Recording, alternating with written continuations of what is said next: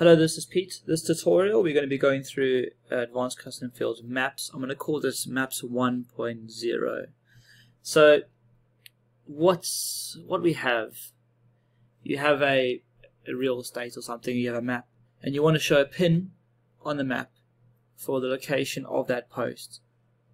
Now, this uh, Maps 1.0 only works on the single pages. So, for example, I have this map over here with this pin. I can't show multiple pins on a map. I can't search for the map. I can't.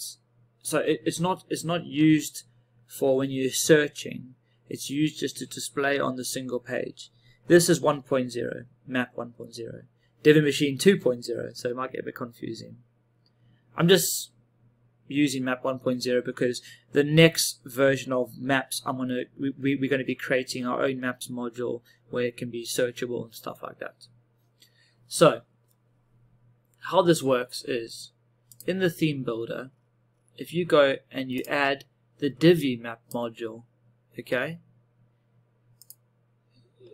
So you basically just um, yeah so it, it works on the Divi map module First thing you need to do is go and create your custom field. Field type needs to be called Google Map. Okay, so you create your custom field. The next thing you're going to do is to make sure that you have your the Google Maps API key added in the Divi theme options.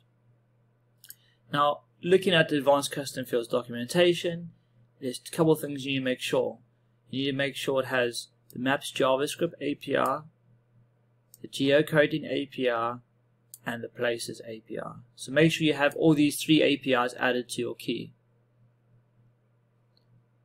Okay, then you also need to make sure you add it into Divi theme options. Now once you've added in your key into Divi theme options, and you've created your map advanced custom field item, the next thing you need to do is to go over to Divi Engine machine settings, map module overrides, okay? Then select your map custom field and select your post type.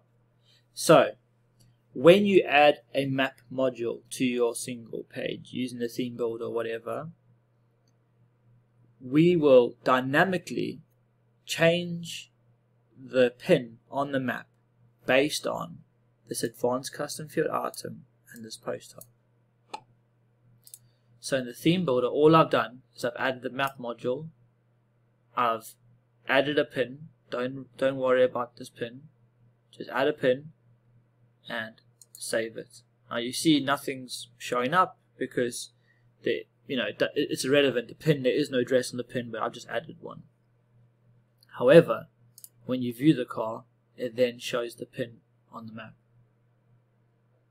based on the the, the setting over here. So in the map, uh, I've added in the postcode, and you can see there it is over there, and there it shows on the map.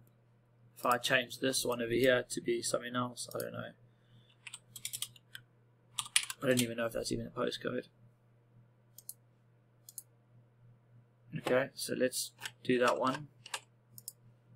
And then you'll see now in the car, it will then change on the map. Okay, does that make sense? So just to break it down, one, you know, add your Google API key. Two, add your advanced custom field item. Three, go to our settings and select the override. Four, add the map module to the theme layout.